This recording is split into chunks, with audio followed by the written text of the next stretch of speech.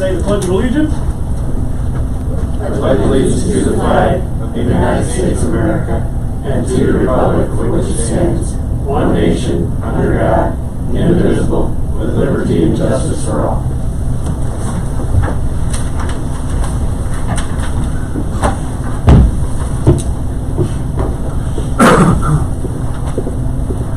All right, can I get a motion to approve the agenda as written? So, second. Elwick and Hessen, all those in favor? Yep. Perfect. Get a motion to approve the consent agenda as written. Motion? Second. Any discussion?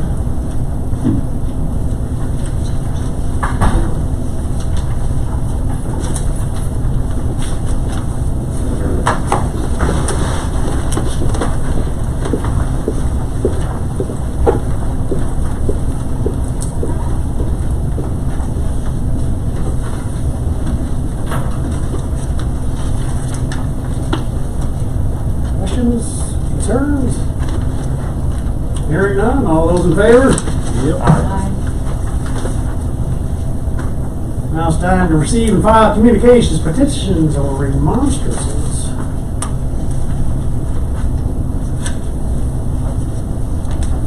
I received a email today from a gentleman and his family that uh, come to the family. And apparently there is a movie coming out called The Hunt. And he is concerned about its subject matter and would like us to maybe review that a little bit, maybe contact the theater about what its content is before we perhaps show it in town.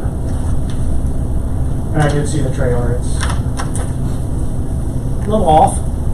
So, if you guys would be so pleased to just check it out a little bit, and I'll have Chris, if you want to drop this off Sure. at the theater, that would be great. Out of curiosity, would what power would we have? The palace we theater? don't, but I told him I would pass it on to you guys, and we would let the theater know. Unfortunately, there's something called the First Amendment. Right, that's kind of what I was thinking. So. And- They rarely show Army AA. Now they used to, when I was a kid, have seven o'clock showing and nine o'clock showing. Remember that? Yes, And the yes, nine yes. o'clock, the nine o'clock movie was It's always adult movies. was an adult, Yes. like an R-rated, terribly adult. Right. and you had you, they checked IDs and all that kind of stuff. But I- Seven o'clock was always a favorite. I don't, I don't remember them having done that for, It's been a while. Years. yeah, Okay. the recent. Yeah. You're right. What's?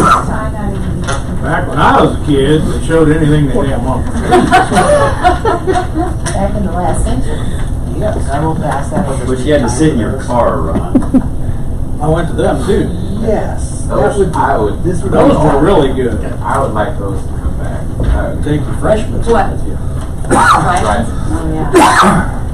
Um,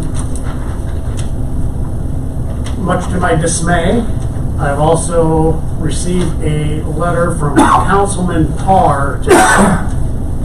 And it is reads, as mayor council, lists of letters to inform you that I am in the process of building a new home outside of the city limits. My anticipation is to move to the property sometime in September. And once the move is made, I will be resigning my seat on the council. I wanted to give enough advance notice that the at-large seat could be included in the general election and give anyone the opportunity to run for that position if they wanted to. I've enjoyed my time on council and wish everyone the best of luck and keep up the good work. So, I assume your intention is to stay on as long as you possibly can, until which time you move. But I appreciate you giving advance notice so we can get it into the general election, so. I can go ahead and take that so Cindy can have that. How was that? Um, how does that work as far as timing and stuff? You gotta have ballots.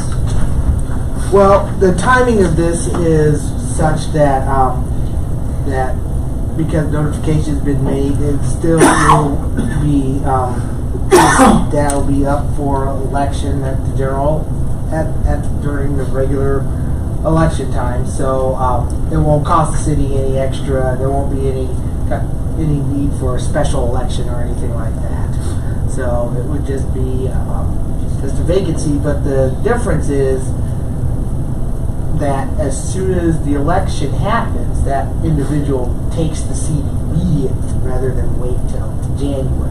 And their term would be for two years. Correct. To Fill out the out rest of The remainder. Yeah. Mhm. Same way I did. Correct. So, either way, you will be moving out, just the timing of which is not. Yeah. Whether it be in a camper or a real house.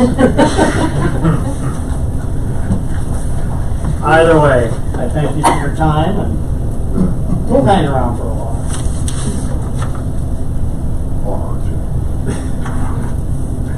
Are there any other, uh, things to be spoken of? If not, I'm gonna move on to committee reports. General Government met at 6:30 tonight, just before council, to talk about uh, maybe streamlining how we deal with nuisance properties, nuisance issues moving forward. Um, We have a rough draft of something that I'm gonna look at a little bit further and uh, possibly also incorporating a committee into this process. So all of council is informed of what's happening and Jerry and Ted and Chris aren't consumed with all of the burden of this. It really isn't a burden, but when they have other stuff to do, it is, does kind of fall under our, our job. So anyway, I'll be working on that in the next couple weeks.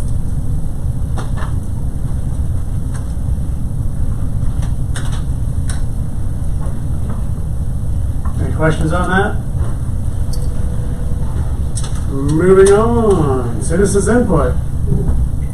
Seeing none. Before you all leave, I have to get your picture. I just got a text from Mona. It's Mona that sent me. So just sitting there nice and pretty, but maybe you can go pictures, but we can wait. I'll Very even good. 150. Moving on to old business. Need a motion for the second consideration of ordinance amending the official floodplain zoning map. Motion? Second. Stark and Elwick. So, did you get my packet of stuff that got sent to my house? I sure did, Mr. Bear. And that should be all the updated maps and, Correct. It is. and DVDs and posters and whatnot. When I went through it, I was kind of surprised what areas I didn't think should still be in floods, and it is, so. you know. It's a little hard to push and piece it all together into one big map. Oh, yeah. so. Any questions on that? Is there anything you can do if you think it's wrong? You can hire somebody to come out and shoot the elevations and put a protest into LOMA or something. You have to do a LOMA, a letter of map amendment Yes, process.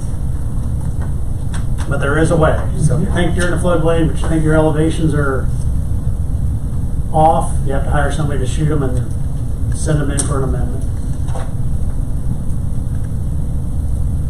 And they'll come out, and I shoot, they'll come out and shoot it too, but, so there is an option. And hopefully when the wetland thing comes to fruition, that might change some things. I think they're gonna come out and check elevations at that point, see what kind of effect it has. Do you think they would do that on their own? I think they are going to do it on their own. So, Okay, ask We do that that? question, but it's coming up later on. oh, agenda. okay. Any other questions on that? Roll call? Okay, Elwick, Yes. Edwards, Yes. Hessen, Yes. Stark, Yes. Parr, Yeah. Cassinas. Yep. Thank you. All right. I need a motion to approve a resolution for the Norton First Edition preliminary and final plat. So move. Second? Is there? Have we actually seen them? We always get these legal descriptions. there. That's right here. Is that what? Mm-hmm. That's what that plan set was. Yeah. Okay, I remember that. Okay. House is like.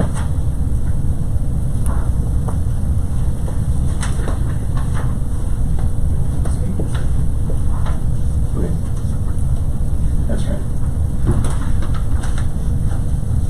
So it looks like he's gonna divide it off into three lots. Yep, and only build on the, just have one buildable lot. The last lot, the four acre lot, is just floodplain. With no intention to ever build on that. Alright. Uh, is that a roll call? Uh, Yes, it is. Roll call, please. Stark, Yes. Edwards, Yes. Hessen, Yes. Elwick, Yes. Parr, Yep. Cetus. Yep. Thank you, Mr.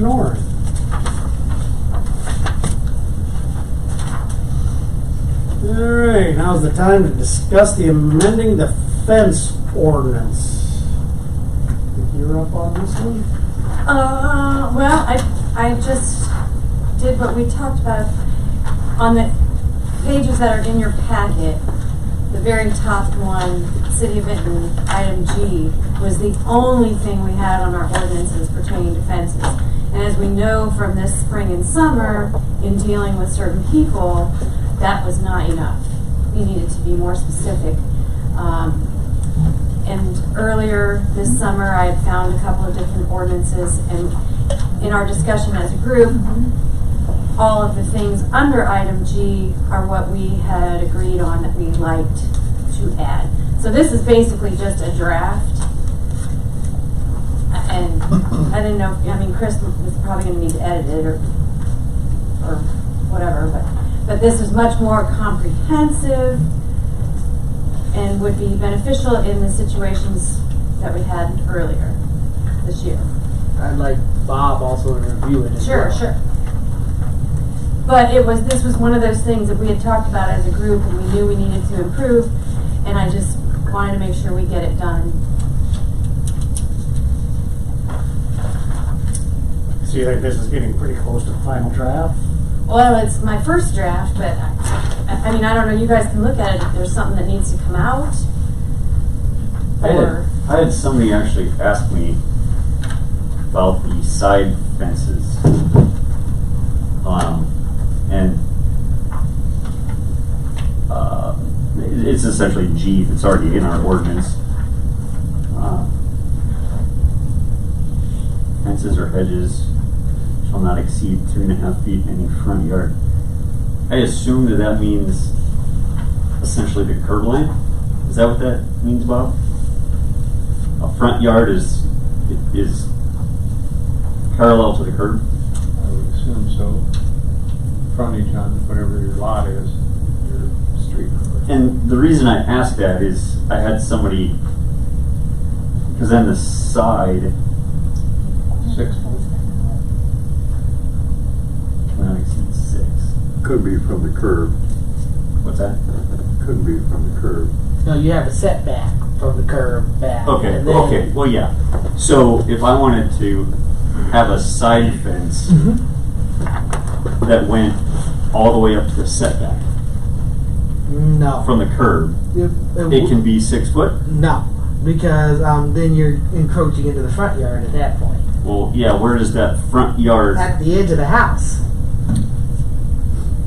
Once you What exceed edge of the beyond- house? once you exceed um, the side of the house to the front of the house, where typically your driveway, that area, parallel to that, that would be considered your front yard. So if it's sticking out, let's say about three feet beyond the edge of where the windows and everything else is, So- out, that would be considered in the front yard. the question came because somebody's neighbors don't keep their yard in very good condition. Their house, their yard, their stuff in very good condition, at least in their opinion. And they would, they currently have hedges that are six feet tall that are going all the way to, not all the way to the curb, but um, set back a little bit. Well, those bushes are getting too big, and so they wanted to get rid of those and put up a fence to essentially make it so they couldn't see their neighbor's junk. Um, but their question was, how tall can that side fence be? All the way? Not from the curb.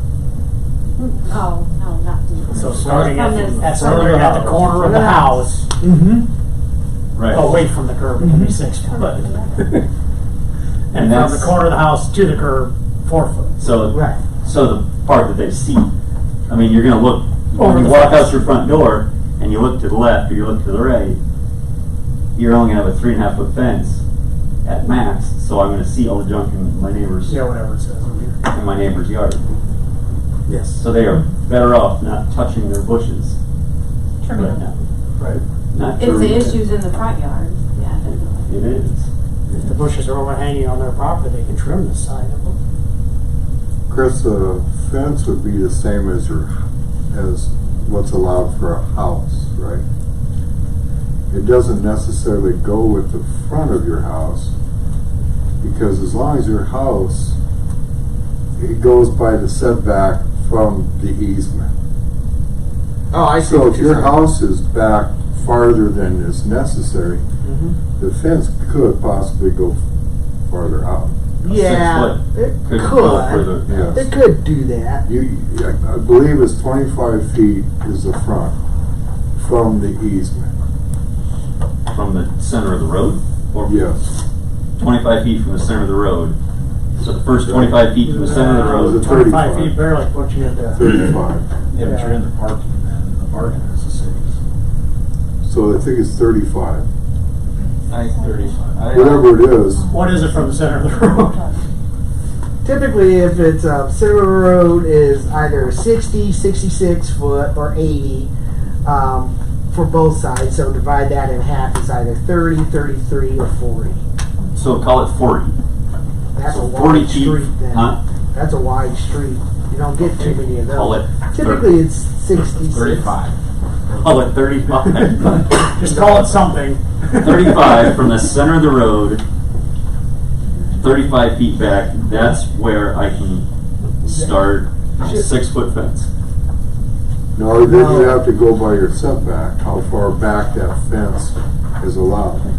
Whether it's six foot or, So the edge of the easement starts thirty-five feet off center of the road, and then the setback is so far off that easement. Yeah. It's basically a corner of the house, Pretty much. because that's where Most. most of houses do. Ninety percent of the houses are that way. well, mine is. and I think the, one of, maybe the reason I'm thinking twenty-five or thirty-five, maybe that is from the curb. Mm-hmm. For visibility.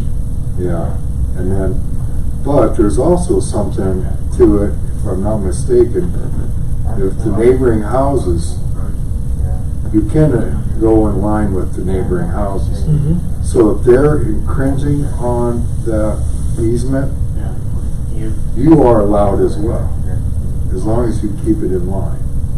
you've got two neighbors, you're putting the house in the center.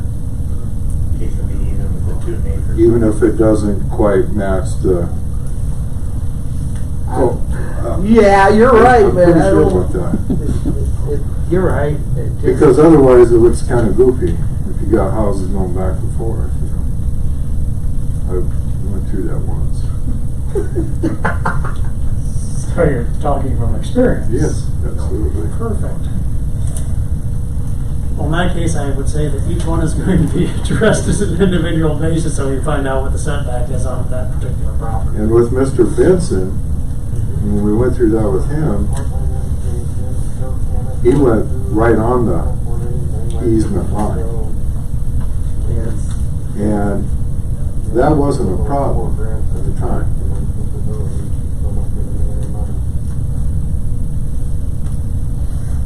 We never, we never called him on that part. Well, you I wrong? I don't, maybe I'm wrong, I. I thought you could put a fence up on, on the property line and all the way around. It's just in the front, it has to be three foot. You can encase your whole house with a fence On the line? on the line, We just can't go over the line. like over the sidewalk, Well, you, etc. you you can, but the chances are, well, if there's a break, water main break or something like that, we'll wind up ripping it out just to get to it. Right, but that's their own. Generally. So here's. That's the- why we tell people not to do that. There are bushes all along here, currently. These are all bushes. And there are bushes all along this side. And they're starting to get large, and talking about replacing them with a fence. So you're saying that this fence from the corner of the house, on both sides, up to the road, can't be more than three, four a half, three and That would half be feet. my interpretation. I guess maybe we should, I should show a But they picture of the can't bottom. build all the way out to the road. But like Thirty Brian is saying, if foot the to the easement road. is right here, the city easement here, there should be a setback from here to wherever that is. And that's where it would start. And typically that setback is the same as the house. There is a definition of front yard in Yeah. code. Yeah, front and side yards are, are in our That would be the ordinance. side of the house, the front of the house. Yes. Front of the house is. Front of the house again. Your address is on. Uh, Except for uncovered steps, uncovered balconies, or uncovered porch. Those are not part of the setback. Those are not part of the house for purposes of front yard. The whole reason I bring it up is uh, we're discussing fences and I've got somebody that wants, I'd send That them down one. to talk to Chris. doesn't want to look. Don't talk to me. That's fine. That's what I'm here for. I work with people. I work with Call everybody. Jerry Michaels because he, that's his deal. Yeah. You're the other person to call. Mm-hmm. Hey, I just, Be good to get some While we're- recommendations for yeah. you. Invest the money. while, Yeah, while we- we're talking about it, We work together, actually. You know, more often than not. So, if you guys want to make change to this, is what I'm getting at, that Tammy would entertain those changes so she can fine tune it. And so we can keep moving forward. Would that be the thing? I, Uh, I don't know. Yeah, I guess. I mean, ultimately, it's gonna fall to Chris and Bob. So, the sooner we can get through the changes ourselves and get it to Chris to draft, the sooner we can have it in our little handy Did you dandy. decide you didn't want any setback, you know, like a foot or whatever, you decided you did not want to do that? Remember you were discussing that at one point? Yeah, we can discuss that. It was not in my notes of what we wanted to keep. All We right. can we can make those changes. And Yeah. Bob and I can go through it, and then we can um, come up with a, a draft based off of what you have, and then bring it back. That fair, Bob? I don't know, unless that's in there somewhere.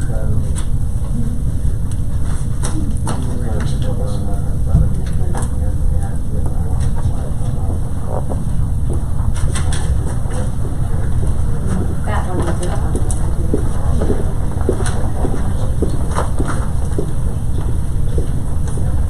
They're coming in already. Oh, wow. All right, is there any more discussion on the fence? All right. Moving on to new business. Need a motion to consider the purchase of a rear blade for the street department tractor. Motion? So is this budgeted for? Yes, I it knew is. the mower, there was, there wasn't a mower budgeted for it, it was the blade. The blade is what was budgeted for, and this is under our budget. Much did we budget for?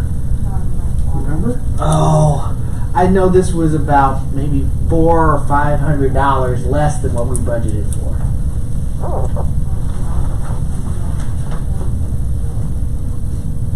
If that is if you accept it. Any questions on the bids? Do you need to be specific motion that we go with the Kaminga bid? That would be great. Okay, I move that we go with the Kaminga bid for the blade. Second that. Roll call? Oh, nope, it's Senius. Yep. R. Yep. Stark. Yes. Hessen. yes. Edwards. Yeah. Elwick. Yes.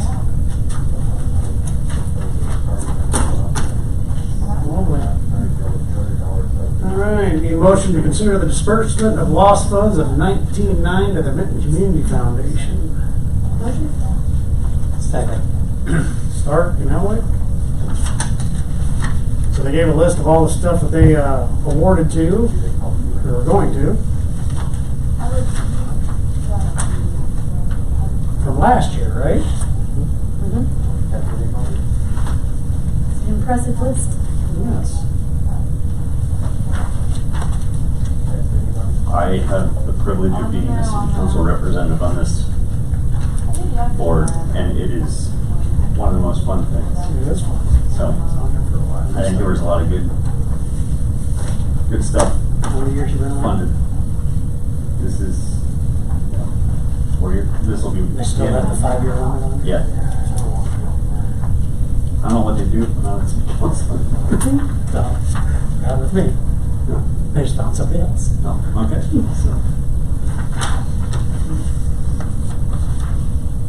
Alrighty, roll call. Edwards, Yeah. Stark, Yes. Parr, Yep. Seamus. Yep. Hessen, Yeah. Elwick. Yes. Need a motion to consider the sidewalk reimbursement to Andrew McKenna at eleven oh six A Avenue. So moved. Looks very nice.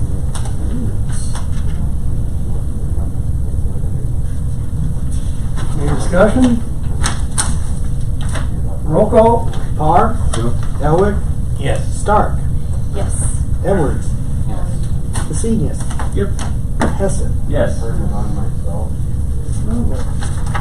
Now it's time to discuss the artwork on City Hall on the east wall. I got an email from, uh, car skidding me at the moment. Miss Carr. Lou, yes. and she was wondering if we could put some sort of artwork, maybe the art guild would come out there and like she sent some pictures of like just some angel wings out there that people could walk up to and get their picture taken with. They're actually kind of cool. And actually your name got brought up specifically, Mr. Parr. Well, so I didn't know that'd be something you might be interested in instead of just having a plain old block wall and having a place for people to go get their picture taken. used to do a lot of mermaids, would that work? You work it out.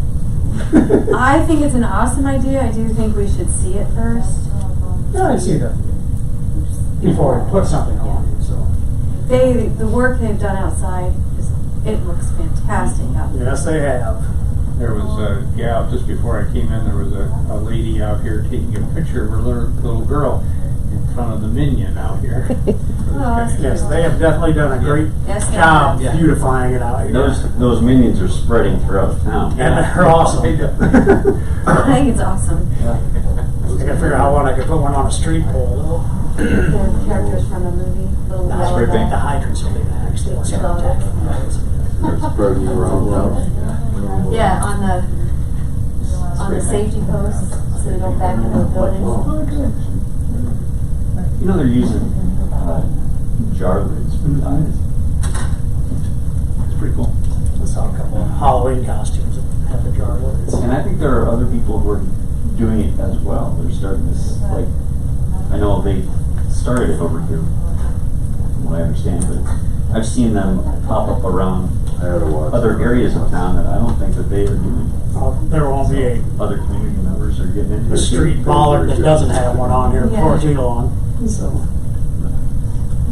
It's good. Keeps Brian things Park colorful. Carvings have, have some competition. Oh, What's that? Brian Park Carvings have some competition now. Minions. People are gonna drive around looking for the minions. Well, they're gonna have to have something that the trees keep rotting away.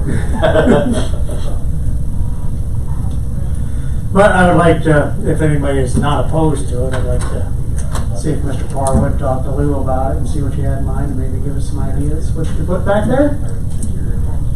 Okay. Thank you. I think it's cool. Yeah, So, alrighty. Now is the time to set a work session. This is our monthly, let's talk about what we want to talk about thing before the next council meeting. General government. What? There's one other thing that we need to add, Mr. Mayor. Okay? Uh, EOR would like to come and talk to the council during work session at six o'clock next meeting as well.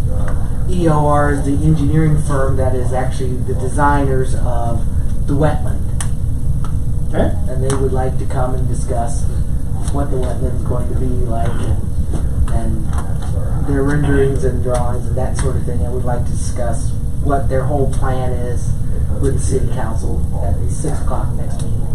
So, Take an hour. Yeah, will they take an hour? I, I don't know. They're coming down from Minnesota. So Um, well, we'll, we'll give them the time they need. I apologize. It just that's all right. I tried to get them to come tonight, but they couldn't make it. So we will set a general government work session We will. for six o'clock on the September. Oh my God. Let's change that for us. Thank you. Uh, Twenty second. Nope, wrong month. Yeah, you're right. Twenty second, all right. But yep, that's the work session.